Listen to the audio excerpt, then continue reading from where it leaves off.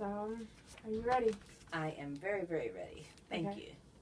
The first question is How do you feel about bullying? I feel that bullying is a problem, unfortunately, uh, throughout the United States. It's become a huge problem due to social media, uh, cyberbullying, texting.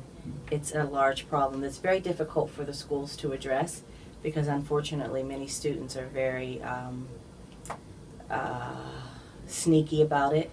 And then, typically, when you confront the bully, they deny their behavior, so it makes it difficult to deal with in the schools. The next question is Have you ever been bullied? I was bullied. There was this girl by the name of Alice Toombs who lived in my neighborhood. Alice, if you're watching this, it mm-hmm. affected me. And I was probably eight or nine years old, and Alice lived above the, the community playground. And she always wanted to fight me for some reason. And I was afraid to go to the playground because of Alice Toombs. So, yes, I have been a victim of bullying myself. And at 43, the fact that that still bothers me when I was just a little child shows that bullying has a long lasting effect on people. Is how often somebody come to your office about a bullying problem?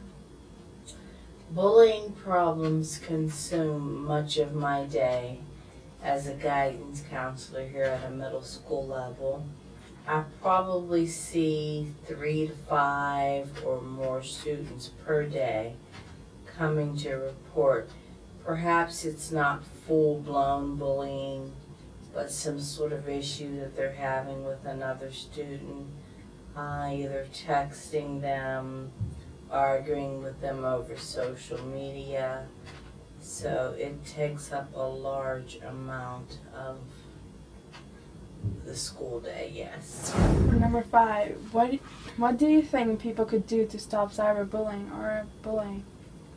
Well, cyberbullying, I think that uh, parents need to police their children more and be aware of what they're doing online.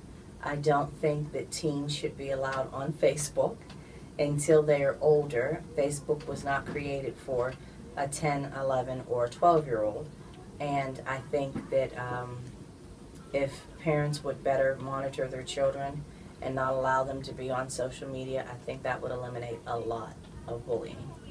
And as a school, fortunately, we do have students that are willing to um, to let us know if they're being bullied, and we have strategic ways that we try to deal with it, uh, so that the student is not looked as a snitch or someone doesn't call them that because they told on them. So we say that either an adult saw it and reported it, or we saw it on camera, just so students feel safe to report.